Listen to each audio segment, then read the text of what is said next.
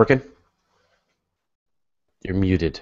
Yep, they uh they moved the mute button on me again, and I almost hung up on the call. Yes, I have almost done that too. it was like, oh, wrong orange button. Yeah, yeah, the shiny orange button must click all orange buttons. No, no, don't, don't do it. Don't do it. It just shuts it down. Especially when I, I have, I have, I haven't done it yet, but I have almost shut down the broadcast Yeah. on many occasions because it's just, I don't know what it is. They're completely different buttons, but the red color just makes me. It just draws click it, yeah. in. Did you see Day of the Doctor yet? No, No? shush, spoilers. Okay, all right, no, no, no, going to Why isn't there? Why isn't there a big red button? I was. Why is it listing me as a different human being? Okay, let me fix that. Um, yeah, I'm going tonight with Nicole Gugliucci at Noisy Astronomer. We're going to go see it in the theater with both of our significant others. Good. Whoa, I have sound coming from somewhere. You you have another window somewhere. Open up. There, killed it. Okay. Uh, yeah, no, it's great. I really enjoyed it. Actually, it was uh, Cool. it was both sort of uh, fan service. Spoilers. I'm not spoiling anything. It was entertaining. It was it was good. John Hurt was great. It was a good show. Um, and they it was like a world record for the most countries simultaneously broadcasting, it, like 94 Yeah. countries. So yeah, so we're going to go. I think we're seeing it in either 3D or IMAX tonight. good. That'd be great. Do that. But you're back from Indonesia. I, I am, and, and the reason I didn't see Doctor Who is because I've been in transit. It took me uh, 44 hours to get from the conference I was at in Bandung, Indonesia, all the way back to St. Louis, America, or the United States. Um, so it was a kind of long journey, over 24 hours of flight time.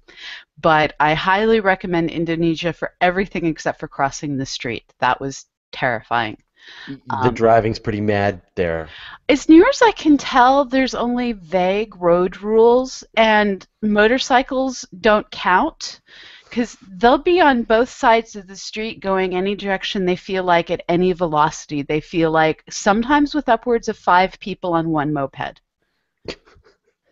There are no rules. Yeah, I've, I've seen like camera views of people walking in streets in Indonesia and India and places like that. It just looks terrifying. i Yes, But I mean- yes. yeah, and people get hurt all the time. but uh, we didn't, and the food is absolutely amazing. The people are incredibly friendly. If there's a place to plant a plant, they have planted a plant there. It's the greenest place I've been in my life. And other than the fact that I got sunburned for like the first time in years, um, I didn't think I could be sunburned that easily. Um, but equatorial country and all that. Yeah, it was amazing. Oh, that's great. And but did you get work done? Yes, and there is going to be hours and hours and hours of uh, conference video getting posted, and I, I actually I got to talk to someone who does uh, numerical modeling of orbits, and I, I got software that I need to figure out to finally solve one of the problems I've been wanting to solve. There's uh, I don't remember if it's a Jules Verne or an H.G. Wells. I'm pretty sure it's a Jules Verne story about a star plunging through uh, the solar system and how it disrupts all of the planets. And I've always wanted to run a numerical model to see what mass star would be required to do that. And I found the code, or I found someone who has the code. So I'm going to be working on uh, doing that research project in my spare time. Great. Someone should whip that up in the Kerbal Space Program. Send a mission to this horrible solar system. Um, cool. Okay, so if people have no idea what's going on here, we're going to be recording a live episode of Astronomy Cast. This is our weekly podcast about space and astronomy. Uh, Pamela's got the brain. I ask the questions. Um, Pamela has the jet lag, so it might be more amusing than normal. you, if you're watching this live, you know what you're in for, which is uh, sorry, Preston. Can we ask that one again? Uh, yeah. Uh, so this is going to be episode 323 on isotopes, and we'll take about 25 minutes or so to actually record the episode, and then we'll stick around. I'm not sure how much energy you have to answer people's questions. We'll ask if you can answer a couple of questions. I Yeah, will- that should be fine. I, I'm unfortunately down to half a cup of coffee already, but we'll see what we can do. Oh no, make it last. Um, Cool. Okay. Are you uh, are you ready to record? Yeah, I think so. Okay. Let me get my info in front of me, and I'm ready to press record whenever you like where the hang up button is. Okay, I am pressing record, and it's recording. Okay. I'm also recording. Are you in mono? Yes. Right on. Okay. Here we go. Astronomy Cast, episode 323 Isotopes. Welcome to Astronomy Cast, our weekly facts based journey through the cosmos, where we help you understand not only what we know, but how we know what we know. My name is Fraser Cain. I'm the publisher of Universe Today, and with me is Dr. Pamela Gay, a professor at Southern Illinois University, Edwardsville, and the director of CosmoQuest. Hey, Pamela, how are you doing? I'm doing well. How are you doing, Fraser? Good, and you're back from your epic uh, Indonesian adventure. I am. Last week I was at the Southeast Asian Young Astronomers Conference where uh, I gave a workshop that I'm going to be blogging about on CosmoQuest, and I gave a talk about CosmoQuest. Um, yeah, it was amazing. It was, I think, the first conference I've been to in my life where uh, the number of contributed talks by women was the same, if not more, than the number by men. Uh, invited speakers were equal numbers. Uh, the food was amazing. I, I gained a Mm. kilogram while I was there. Um, yeah, it was it was in every way. The science was great. The camaraderie was great. Um, the spiders were the biggest spiders I've ever seen. I saw your pictures on Google Plus. This is terrifying. You have your hand next to the spider, and they were the same size. Yes, yes, it was a huge spider. It was awesome. Yeah. Yeah, so I, I highly recommend Indonesia, and I think I'm going to be attempting to convince my husband it's worth going there for vacation at some point. oh, it sounds great. Um, so uh, one thing that maybe we want to get people's help doing, if you're listening to this and you subscribe to us through iTunes, uh, if you could take a second and give us a review on iTunes, iTunes that would be terrific. We'd really appreciate it. Uh, let other people know what you think of the show, and so they can find it and uh, and decide whether they should subscribe as well. So uh, best place to do that is in iTunes. You can just do a search for Astronomy Cast, and then there's reviews, and you can rate the show and, and give us a review, and we really appreciate that. That's uh, super helpful. Uh, okay, well, let's get on with the show then. So the number of protons defines an element, but the number of neutrons can vary. We call these different flavors of an element isotopes and use these isotope, isotopes to solve some challenging mysteries in physics and astronomy.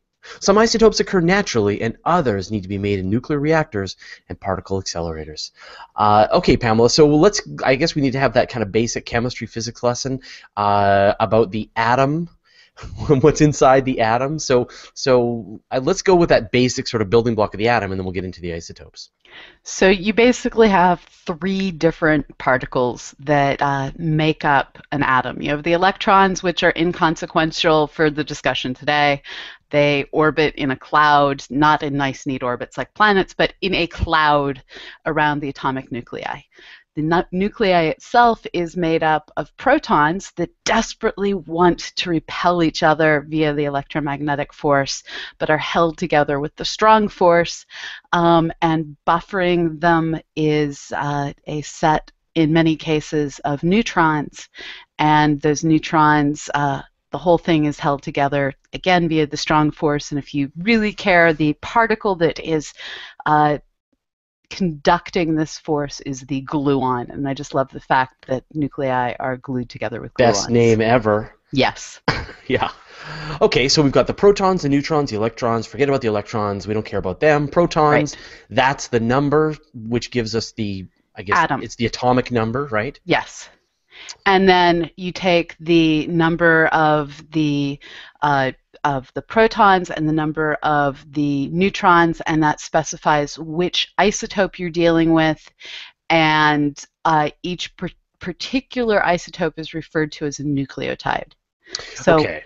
Uh, one atom has many isotopes. Each individual isotope is a nucleotide. Okay. Now, and this is the thing, right? Is that is that while the number of protons really defines that element, if we have Yes. 12 protons, we're looking at carbon, but we can have different amounts of neutrons. So how how do you get these different flavors, these different isotopes? You add or subtract neutrons. How? well, it's well, when a mommy and daddy proton get together. no, seriously though, it's it's one of these things where you can get to them through a whole variety of different ways. Uh, you can get to them um, in the outskirts of a star by having um, neutrons slowly bombarding atomic nuclei in the atmospheres of stars, and you build up, you can get various isotopes of carbon that way, for instance. Uh, during supernovae reactions, you can have the fast process or the slow process taking, taking place. So that's the more positive direction to, to go. Um, on, on the more negative way to go, you can have uh, nuclear decay, decay processes, either what's called an alpha process, where um, you have a happy little atom sitting there, and all of a sudden it well, for lack of a better word, excretes a helium atom. So off flies uh, two protons and two neutrons that are tied together via the uh, strong force. They go flying away. Um, bye bye, alpha particle. Hello, new isotope that is actually a completely different atom because you got rid of two protons. Uh, we also have beta decay processes where either a proton spontaneously turns into an, uh, a neutron and a positron, or you have uh, a neutron spontaneously turns into a proton and an electron, um, and there's other things like neutrinos involved. But all these different processes change the identity of an atom in various ways.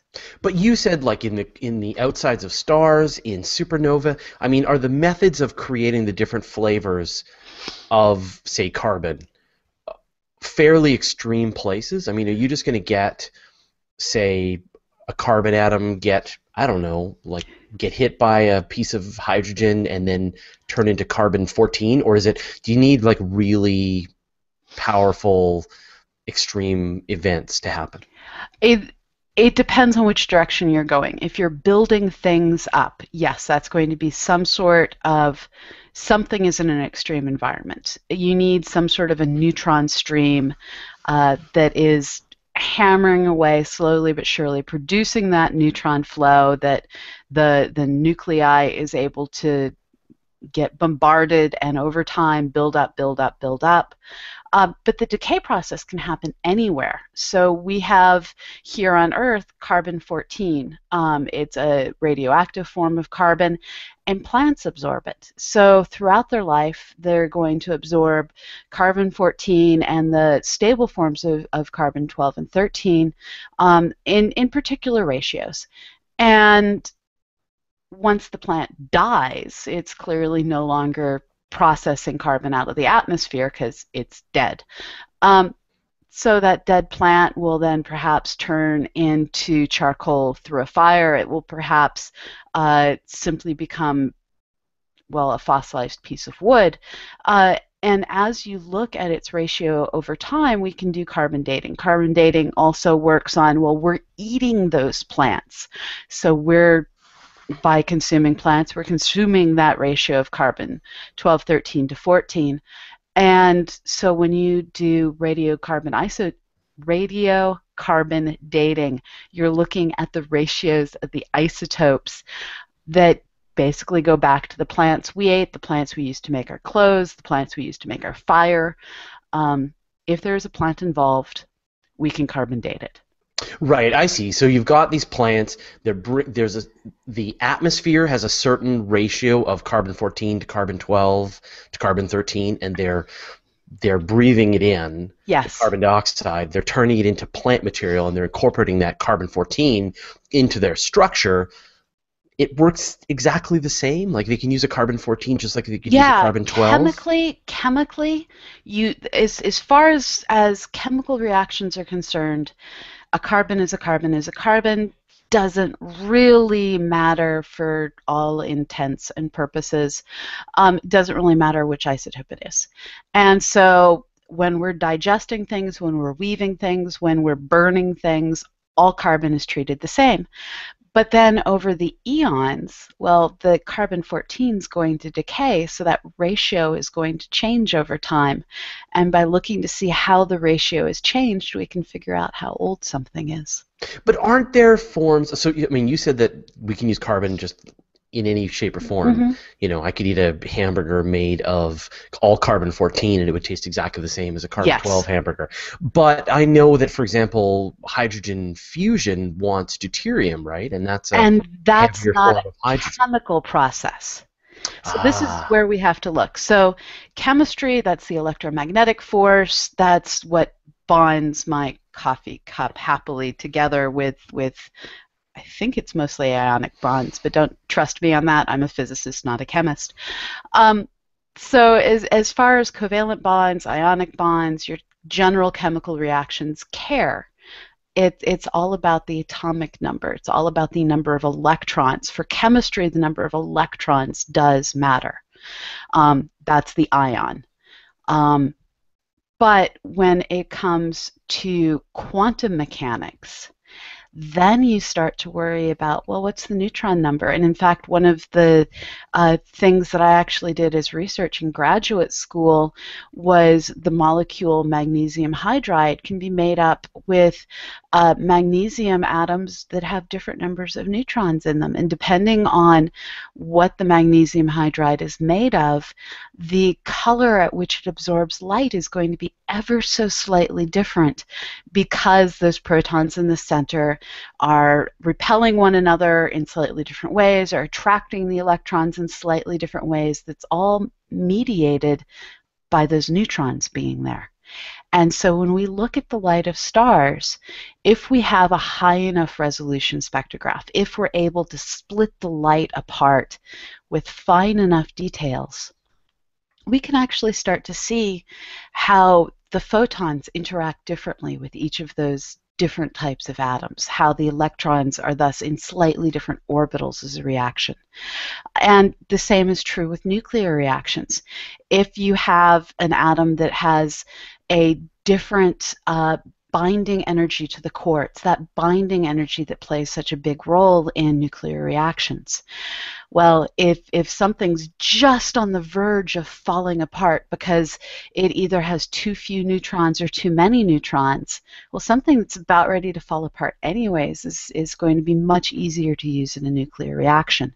This is where we start to worry about uh, countries that are enriching uranium. Well, enriching uranium generally means you're bombarding that sucker with more and more neutrons. Um, getting it to a higher and higher ratio of the, uh, well, easier to use in nuclear bombs, nuclear burning.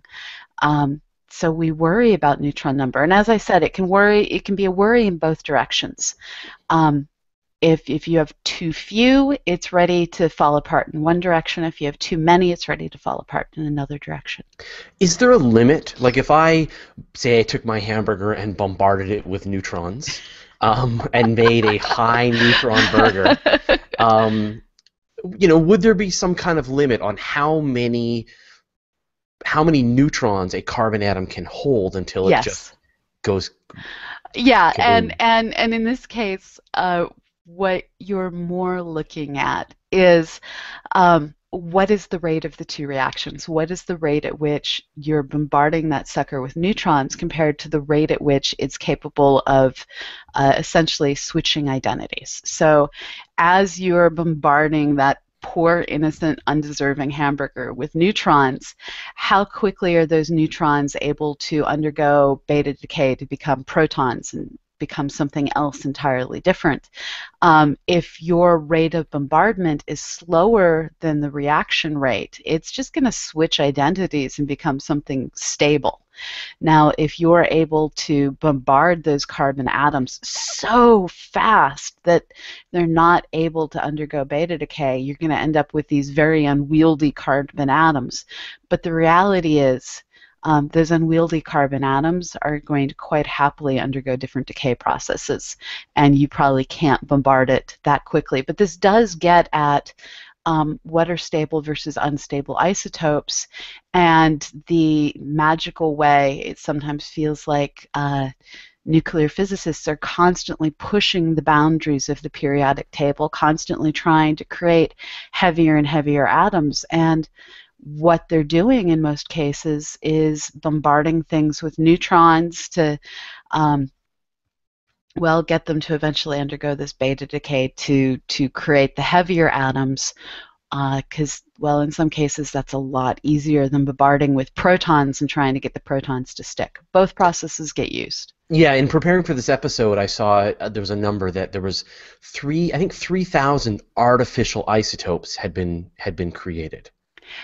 There, there's a poster beyond just the natural isotopes that we'll have in, in the universe, right? There, there's a poster that you can see in the background of one of the hallways in the Big Bang Theory. That that's a poster we actually had in graduate school, and I deeply regret that I've never bought this poster. And I just tried to find it online prepping for this show and couldn't.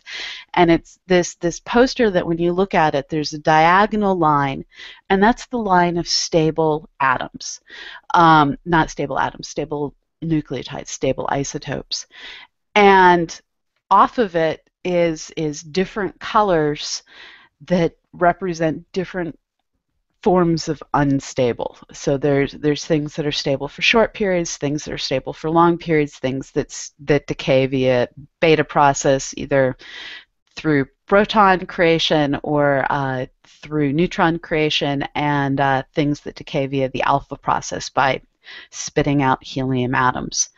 Um, this poster, when you get really close to it, allows you to look and see, oh, this is thorium of this species. It's going to bounce down here to actinium, go back up to a different form of thorium, and you can trace through all of the different forms of decay processes that it goes through.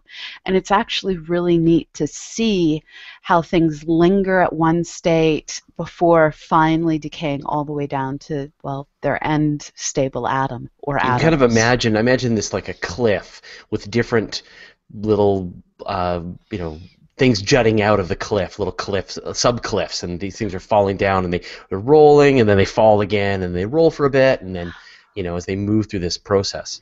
Well, what, what's kind of awesome is the way they, they go up and down. So, so the particular reaction I'm thinking of is you have thorium 232 that will give off a helium nuclei. nuclei. So ditches two protons and two neutrons, becomes radium uh, 228. It then uh, goes through an inverse beta decay process. So then one of its neutrons becomes a proton. It's now actinium, which I know I've never in my life pronounced completely right. Uh, it then goes and switches another neutron to a proton, goes back up to thorium. Now it's thorium 2. 228. Now it bounces down to radium again, then francium, then radon eventually it gets all the way down to an unstable form of lead. And I just love the idea that this metal we rely on isn't always stable. So it becomes lead 212. It, it then undergoes another inverse beta decay, bounces up to bismuth, uh, goes through another inverse beta decay, goes up to polonium. And, and so you have things that are going up and down in proton number. So in terms of how um, big an atom they are in the way that we think of atoms when we're taking chemistry in 10th grade. You have things that go up the cliff, but they're also losing neutrons. So it's it's this crazy how do you judge whether something's bigger or smaller? Well, you have to look at that combined neutron plus proton number. Right. So you add up the protons and the neutrons and mm-hmm. because each time that it's doing some kind of decay, it's it's shooting off neutrons away from the atom itself, right? They're gone. Well, it's it's either shooting off a neutron or sh- shooting off is the wrong word. So um, emitting. Uh, no, no. So it will sometimes shoot off an alpha particle, which is two protons and two neutrons. But the rest of the time, it's shooting off either an electron or a positron as it converts a proton to a neutron or a neutron to a proton. So what we have is this, this case of protons and neutrons having essentially the same mass, but a difference in charge. So you have to conserve charge, which is either an electron or a proton goes away. You have to conserve other things, so there's neutrinos involved. But as things bounce back and forth, the the radium 228, the actinium 228, the thorium 228, all three of those things are different atoms. You get between them by converting neutrons to protons. They have the same atomic number, but they're completely different atoms. So I'm just going to have to take your word for it here that I'm sure the math every time, every step, that if you add up all the positrons and take away all the electrons and convert the neutrons into protons and the protons into neutrons, that it all and, and balances you need the binding out. energy of the atom. Right. And So- the alpha so- particles come away. That that in the end, each step, the math balances out again. And and it is a matter of you have to you have to conserve charge, you have to conserve a bunch of other stuff you learn about in quantum mechanics. You have to figure out okay, so the atomic nuclei has a certain binding energy, what happens to that energy? But in the end, for the most part, everything is conserved. There's a few exceptions that you learn about in advanced quantum mechanics that if they didn't exist, our universe wouldn't exist. So we're grateful for the exceptions and annoyed by them. Uh, but it, it's really a fascinating process to learn about. And the amazing thing is how much of this we can calculate, how much of this we can predict. And so there's there's this great pairing of once we started to figure it out, people could go on mad predictions of okay, there should be stability right here. Spin up the the linear accelerator, spin up the neutron stream, um, and build away. And so right now, I mean, is the limit of like the isotopes that we can build purely the amount of energy that we can, the the, the amount of neutrons that we can slam in? Because I, I can imagine you've got the situation where you're you're slamming neutrons into your atom to try and build it up, but then it's trying to decay off neutrons faster and faster, and it's just like how fast and how much energy can you throw at this problem, It, right? it, it ends up becoming it's so depending on if you're building things up by by using a proton stream or a neutron stream, um, it it really becomes a matter of how fast, how dense can you get it so that you can overcome the desire of the protons to repel, the uh, rate at which the neutrons are trying to decay. There's um, all of these different things. It becomes a rate bounded problem. Right. Is there? Do you think there's any limit? Do you think there's some point where you just can't make a heavier atom and things will just start bouncing off? This is one of those things that, that theorists struggle with. You periodically see papers in the literature that it's thought that if we can just get big enough, we're going to hit another stable point. But when you look out across the universe, well, our universe does a pretty good job at creating all sorts of accelerators. Um, we don't see any evidence that, that there's uh, atomic lines in stellar spectra or any other type of spectra for that matter, that those atoms actually exist. Um, so I, I, I am dubious about Mhm. there being another plateau of stable atoms, but I suspect that we can build larger and larger atoms as technology gets better and better. The suckers are just going to decay so fast that there's always going to be the "Did you catch it? Okay, caught it." Um, and and so yes, we'll probably be able to keep building things bigger that last for bazillionths of a second before decaying away. Um, it sort of starts to become um, the nuclear physicists' challenge of look what I did, and Right. it's kind of an awesome challenge. Uh, yeah, it's it's really expensive and fun. Right. You got to build bigger and bigger particle accelerators to get your Yeah. your. But I just imagine, you know, someone might ha- get enough energy, hammer together, and like pop, you've got something that's got, you know, 400 quadrillion protons. Just one big one big atom. You can like pick it up and hold it, and you're like, Yeah, it's one atom. It's the, the, the, the issue starts to become the, the strong force works over a very small distance, and the electromagnetic force, which is forcing those protons to try and fling each other apart, it doesn't care. It happily works over any distance. So when your atomic nuclei gets bigger than what the strong force can act over, um, it just wants to fall apart. And, and so there are limits based strictly on the fact that while the strong force over short distances is strong enough to hold nuclei together, it only works over very short distances. Now, we talked a bit about isotopes and how they're used for radioactive carbon dating, where we look at the ratios of carbon 14 to carbon 13, carbon 12. What are some other uses, specifically in astronomy, that, that astronomers will use these different isotopes as a, as a research tool?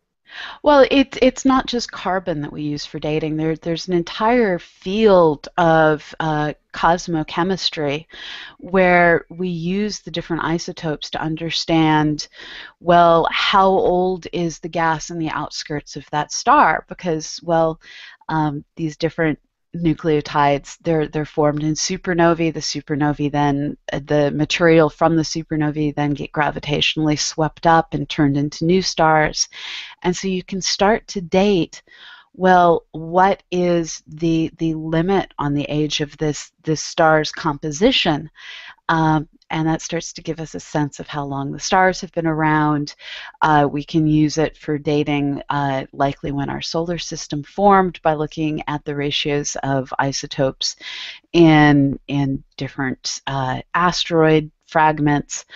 Um, and, and then there's just basically the fact that well, stars wouldn't burn if it wasn't for tritium and deuterium, which burn much easier than your standard hydrogen does. So when we're trying to define what's the difference between a star and a planet, we're looking for, well, did the tritium get dense enough in the center? That's that's a hydrogen atom that has multiple neutrons.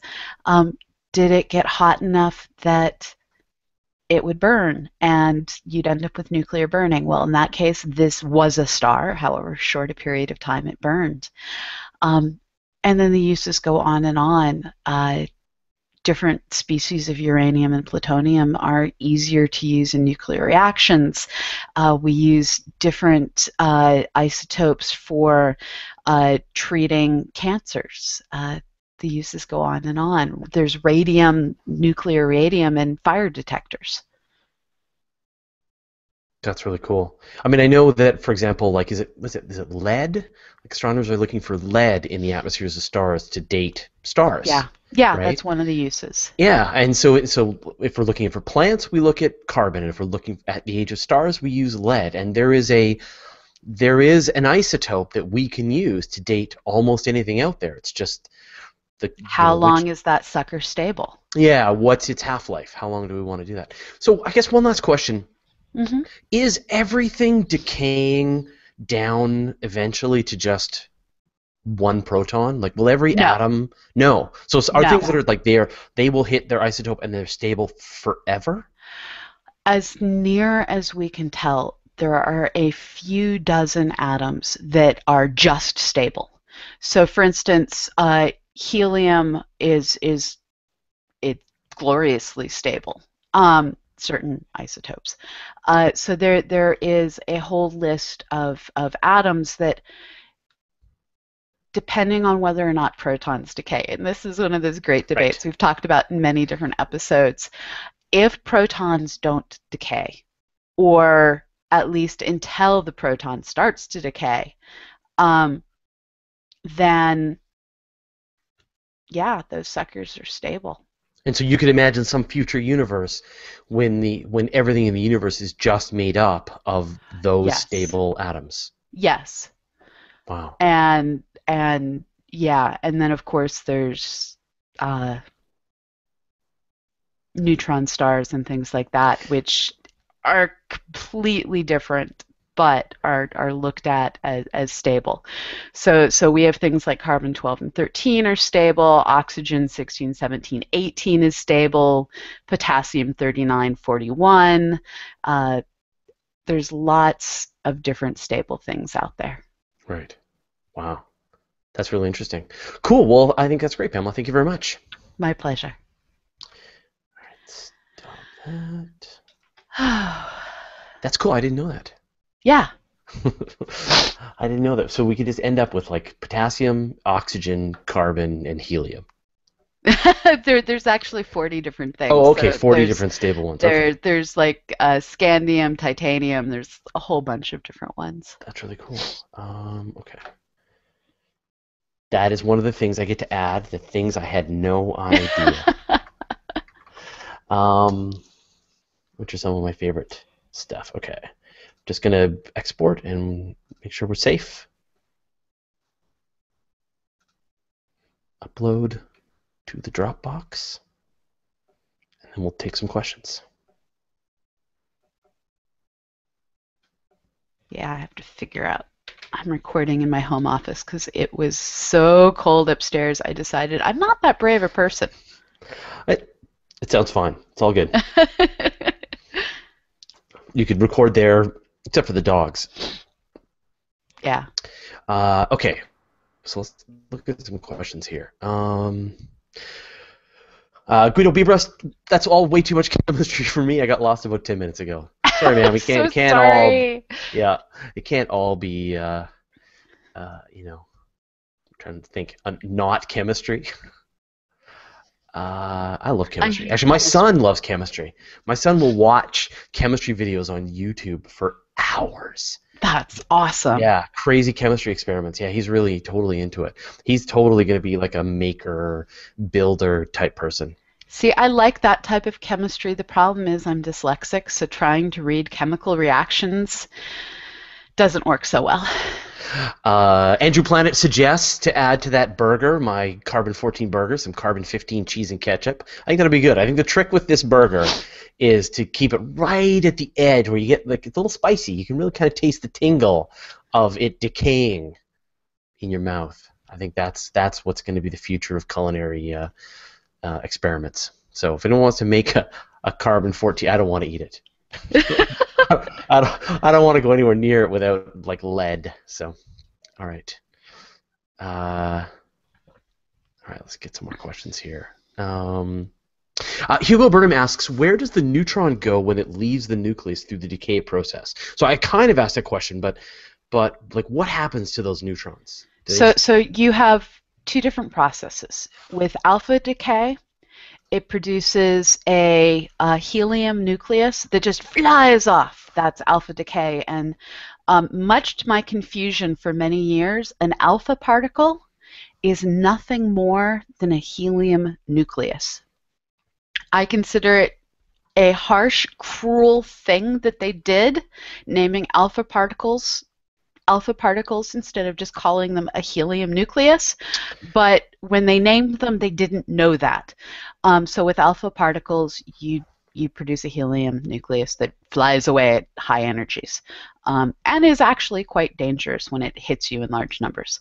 Um, in beta decay, you have either a proton switches identity and becomes a neutron and gives off a elect uh, sorry proton uh, becomes a neutron that gives off a positron which is an anti-electron and that anti-electron just goes flying away enters the rest of reality um, or you have a neutron that becomes a proton and an electron goes flying away right. Okay. So you don't just get these neutrons just zipping away. No You've got yeah more complicated process. Okay, uh, so David uh, Kaczynski asks a completely different question about comet Ison. So if our uh, if our knowledge of Ison's composition is not good enough to make a confident projection on whether it will survive its swing by the sun, how can astronomers know that Ison will not lose the exact necessary amount of mass or change direction due to the mass loss, such that it would impact the Earth later this year? Oh, uh, okay. So, so that's a um, many layered questions. So, yeah. composition doesn't really matter here. Composition, uh, that that's what amount of it is carbon dioxide, what amount of it is oxygen, what amount of it is um, any other of the different gassy things, the organic sludge that makes up a comet. We never really know what any comets are made of in terms of ratio. It's like looking at the crust of bread and guessing what the ratio of different ingredients is just by looking at the crust of a loaf of bread. Um, but when we, we look at comets, we know that uh, their orbits are going to change periodically based on they might end up with a pocket on one side that gives off a jet of, of gas. And that will cause their orbits to vary over time, but there's a limit to which that can happen. So you have large chunk of mass that's on an orbit, and you can place limits on what is the maximum amount that we've seen jets move something before and what is the minimum amount. So minimum amount is you assume no change in orbit whatsoever, its current orbit is the same. Maximum amount is essentially the error bars on that orbit. So assuming all the different places that you could have jets, how much is its orbit going to vary? When we look at that, we realize it doesn't have enough stuff for its orbit to get changed enough for it to hit us. It just it can't get there from here. Or rather it can't get here from there. So Yeah, we're and- completely safe no matter what. Yeah, and I think people need to understand just how far away this comet is going to get. It is going to get really far away from us. Like it Yeah. will never get close. Let me. Yeah. I, I've got this great simulator of comet Ison here, and I'm just going to show you here. So, so this is you find this at the Solar System Scope, um, and you can. So, let's see. So let's just run this. So that's okay. I'll go back here. Um, That okay, is so beautiful. isn't this great? Yeah, and I can zoom in, right? So here we are uh, now, right about there. We're just about to do perihelion, so we're just days away from it doing perihelion, and we don't know if it's going to survive. But then it comes around and looks like it's going right past Earth, right? This is sort of it. But let's yeah, just, you but know, let's it's like that's the orbit of this. Venus. look at this. Look how okay, so here's there. So you see how this is and we'll just keep watching. Boom, away it goes. Right? So it never ever gets close to us. Yeah, no. Not ever. So so I mean it would have to be uh, just an incredibly powerful rocket on it to move it in any way, shape, or form. yeah, so we're we're safe no matter what. And honestly, I'm on the side of that sucker's falling apart. I I'm on the opposite side. Really? That sucker's staying together. Yeah. Yeah. Because you know why? Because I really want a on it. That's why. Right? Because what was the last one that we had? Oh. Hayak- Hayakatake? Yeah, Right? Hyakutake. And so that was like 98, 99. I mean, we are due. It is time. Time for new bright comets. I, I I agree. I've just been watching how much it's been brightening so far, and yeah, I'm worried for its stability. Comets, ice is going to do just fine. It'll be just fine. It's all right. Buck up. Um, it's going to be great. So, so that's it. So, I mean, the point is, is that so, Dave, it's a great question. Comets have a set amount of change that they can make depending on the, and I mean, it's great, right? Because you get these jets. yeah, come off in and funny we do ways and they- misplace them. Yeah, and they and the jet will a, a jet will appear on the side of the comet and spray out material, and it acts like a little rocket that will push the comet in in a different direction than was expected, but but not anything significant. Right. So uh, that's just uh, that's great. Uh, let me see if there's any more questions here. Um, And and I, I'm looking at Twitter and and Danielle Gonzalez, I adore you. He he wrote that he donated money to CosmoQuest because Star Strider says it's all she wants for Christmas, and it is. So donate to CosmoQuest at cosmoquest.org slash donate and, and you'll make my Christmas wishes come true. oh, okay. Um, oh, uh, Sylvan Westby notes that in an hour and 15 minutes, the SpaceX uh, Falcon 9 will be launching from Cape Canaveral to a geostation. There have been so many rocket launches in the past week. There were 60 satellites launched last week. Because there was two collections of microsats. So Dang. yeah, it was crazy. It was a gigantic record. It was there was like 29, and then the record was beaten again with even more. So yeah, it was it was madness last week. Um, and, but SpaceX is great. So did I tell you that I got a chance to go out to SpaceX and see the facility? No, that's Yeah. great. Yeah, when I was down in LA, uh, someone from SpaceX invited me to go and and take a look, and uh, it's the best. It is the best place. It is like Man, it's like Disneyland for space nerds. Because just the way they build them, like it's all out in the open, so like you just walk Yeah. past and you see them putting together these uh, the, the Merlin engines, and and the other great thing is everyone's walking around, and they're like, "We're going to Mars." There's Yeah. no question in their mind that, Yeah. that the plan is we're going to Mars. It's just it's a great place. Um, all right, let's see if I got any more questions here. Uh,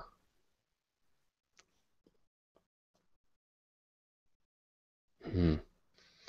Um, no, I think I got all the questions. Anyone has another question for me? Uh, so what's coming up then? So we've got some learning space this week. Um, I'm actually not sure. So here in the United States, this is Thanksgiving week. And uh, so Thanksgiving is Thursday, which means my primary goal for this week is uh, this is the week I end up doing all of my financing to figure out uh, what still gets to survive after January 1. So, yes, please donate, people. We need your funding to keep things going. Um, but uh, I think there's going to be a whole lot of the team at CosmoQuest eating far too much food this week.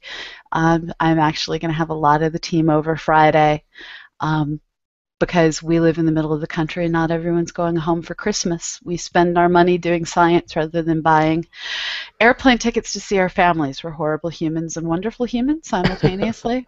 Right. Um, so yeah, I think the plan is to run budgets and eat food this week. that sounds like fun. Fun. Um, Half fun, half budgets.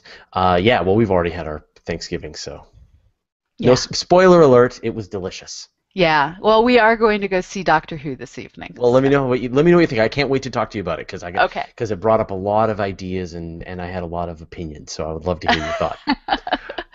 Awesome. Cool. Okay. Well, thanks everyone for watching. Uh, thank you, Pamela, again for making it back alive from Indonesia, ready to continue this mad schedule. And I hope you have a great Thanksgiving. And really, Thanksgiving Thursday is really Happy Ison Perihelion Day. So that's Yeah. I think that's the that's the new holiday for us. I'm I'm wishing everyone clear skies. It's like horribly gross here, and I have a brand new tracking tripod that I desperately want to to use. And oh, if we get a clear sky, I will be dragging my sorry self out to to go do It's, astrophotography. it's pointless right now because it's behind the sun, so you got to wait a couple more days before No, it appears on the other side. So, uh, cool, man! I can't believe we're just days away. This is so great. Okay, all right. Well, I will see all of you later. We'll probably be doing a space hangout on Friday, maybe depending on if people's just too bloated from their turkey, but we'll figure that out. Um, okay. Okay, cool. All right. Thanks, Pamela. Thanks everyone for watching, and we'll see you all next week.